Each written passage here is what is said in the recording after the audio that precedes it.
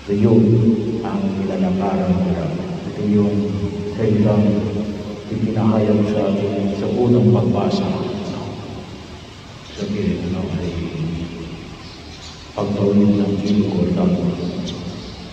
tumigil ang pag-agos ng tubig. Bakit? Sa unang pagbasa, dala-dala nila ang kaban ng tipan ng Panginoon. Dala-dala ng mga saserdote. Ano ba yung kaban ng tipan sa lumang tipan? Hindi yung pinagawa ng Diyos kay Moises yung tinatawag ng Ark of the Covenant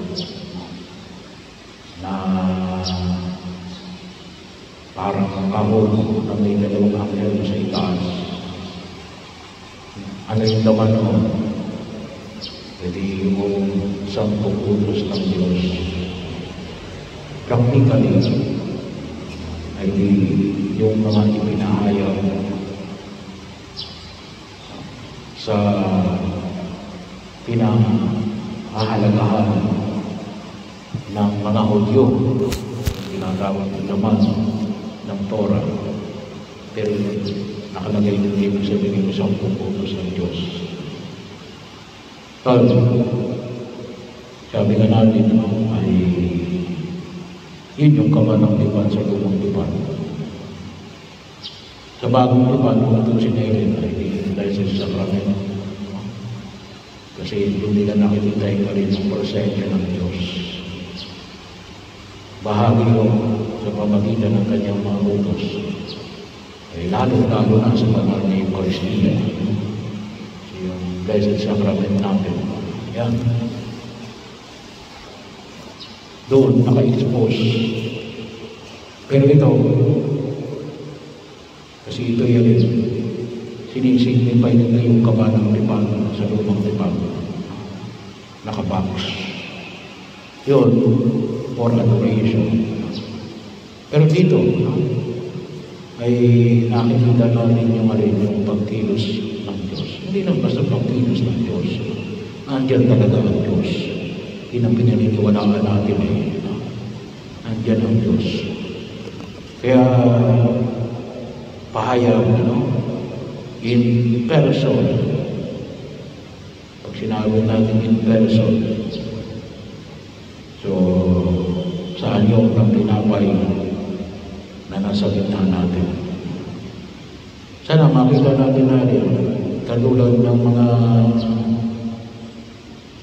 Hudyo na nakita nila yung karanasan na dala-dala ng mga sacerdote, mga pari, ay sila yung nakadaan ng maayos sa ilog Jordan. Bahagi at makita natin sa lumang lipan ay yun ang palagi nilang kasakasama at nainiwala ang mga Hudyo na galing. Ang kasama namin ang Diyos.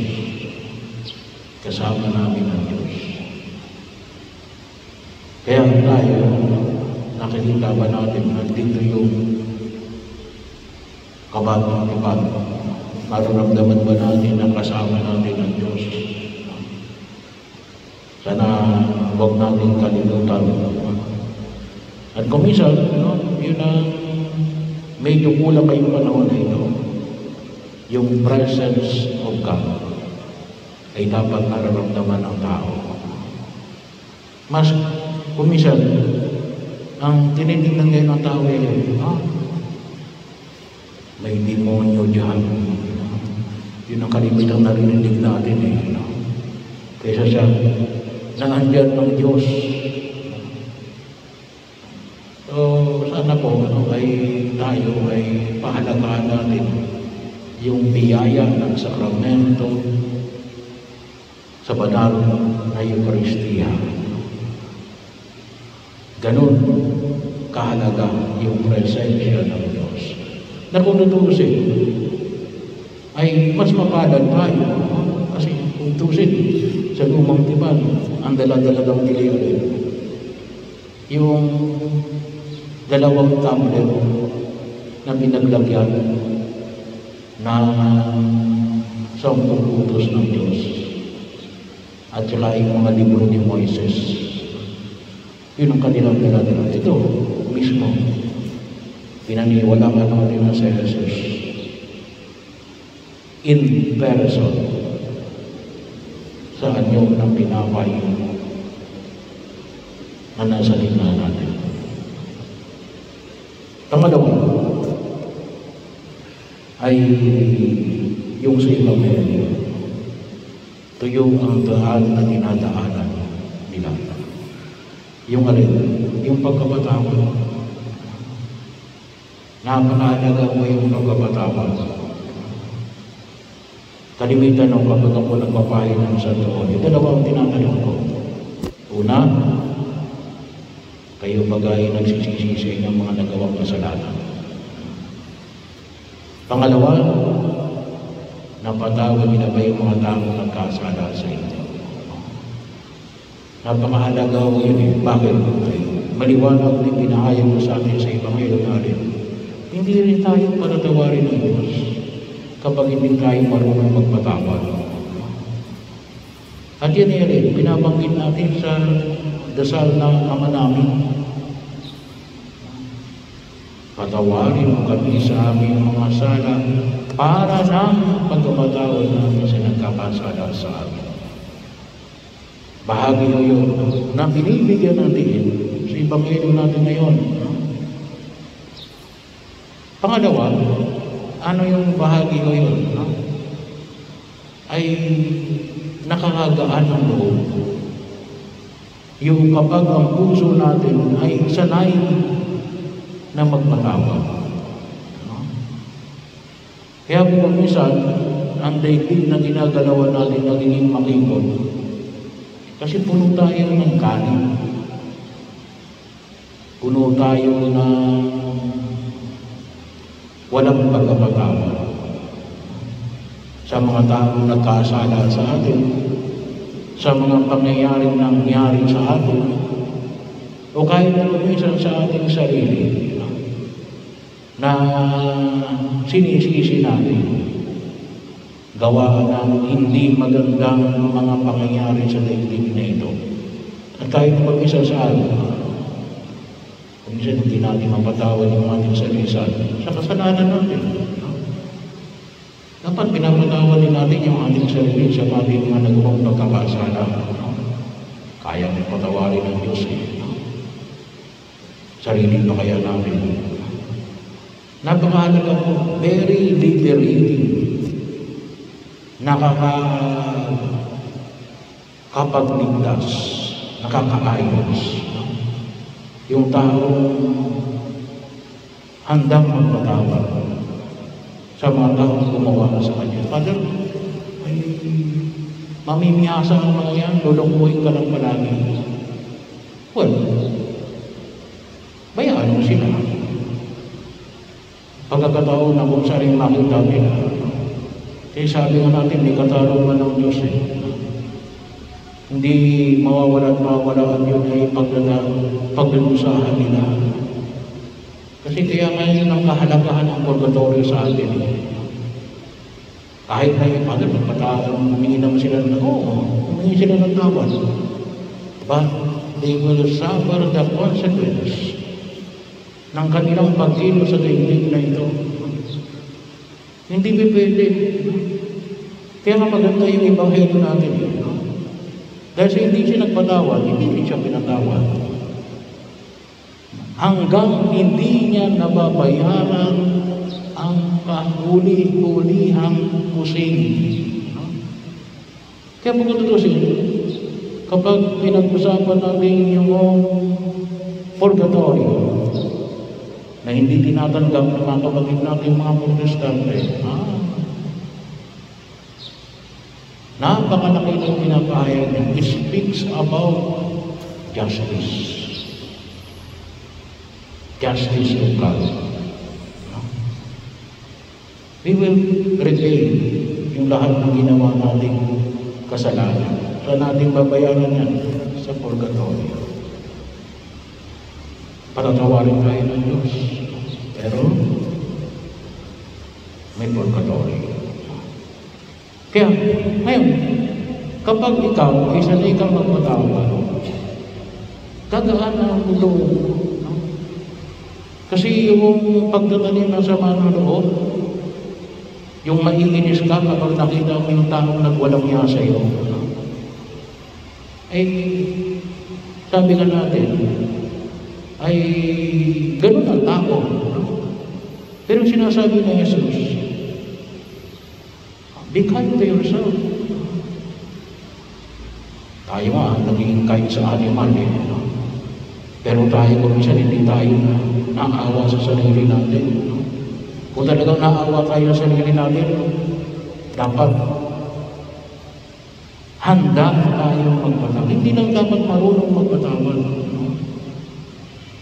Handa palaging magpatawad. Kahit hindi mo humingi ng tawad ng taong yan, patawarin mo. Huwag kang mag-alala. Maghihirap din yan sa ginawa niyang pagiging kalokohan sa iyo. Kasi nakatarong na ng Diyos eh. Akala namin makakalusot yan. Hindi makakalusot yan. Pero do not punish yourself. Huwag mong pahirapan ang sarili mo sa kawalang hiyaan ng kapwa mo. Huwag mong pahirapan ang sarili mo sa kawalang hiyaan ng kapwa mo. Ginawan ka ng alang masama, papahirapan mo yung sarili mo. Mo pinapahirapan yung sarili mo? Dahil hindi ka nagpapatawad. No? Kaya hindi ka nagpapatawad. Kaya napakahalaga po yung pagkapatawad. Pagkakataon na kung saan yung makita ko natin.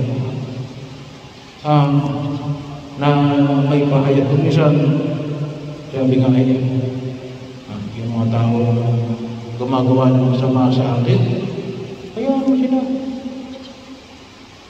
Pagka, kapag palagi mong iniisip na yung mga taong yan na ginawan ka ng masama, ay sabi ko nga sa iyo, nagpapahirap yan sa sarili. Mahirap. Mahirap yung ganun. Yung makita mo yung taong gumawa sa iyo ng masama. Pero kung susundin natin sa Jesus, kung susundin natin sa hingin natin, hingin natin. Kasi hindi mo madali ang magpatawad. That's why we have to start now. Kinakailangan. Kasi kung hindi tayo nagsasanay na magpatawad, talagang mahirapan tayo magpatawad. So, ano yung pamantayan na gagawin natin? Kalimitan sinasabi ko nga, ah, kasi ayaw ni Jesus na mahirapan yung ating sarili. Hindi lang sa pag-inutos ni Jesus. Bahagi yun eh, utos na Jesus magpatawad. Pero pangalawa, dahil ayaw ng Diyos na pahirapan tayo. At kaya nga kalimitan siya natin kung gusto, gusto pa ng Diyos na pinahirapan natin yung ating sarili. Sigurado kung sasagutin natin ay hindi. Then why bother? So hilingin natin sa harapan ng pumuli kapal. Hilingin natin sa harapan ng pumuli kapal. At sana makita natin natin yung pagpapatawad ay tunay na nagliligtas. Dumadaan tayo sa tayong daan. At kung nakikita natin, halimbawa nakita natin yung nagwalang niya sa atin, sabi natin, Panginoon, no? turuan mo ako magpatawad. At maliwanag ko yun. If we can do that, nasa ating din ang presensya ng Diyos na handa palaging magpatawad. Maliwanag namin, hindi liligtas tayo ng Diyos Ma, nakikita natin, makikita natin ang pagliligtas ng Diyos. Simple ba yun Pagpapatawad sa mga taong nagkasala sa atin. Magpatawad sa mga pangyayaring naganap sa atin. Magpatawad sa sarili natin nagawa na kung minsan ng ating kahilangan at kakulangan ay tayo ay naging sanhi ng sarili nating kapahamakan.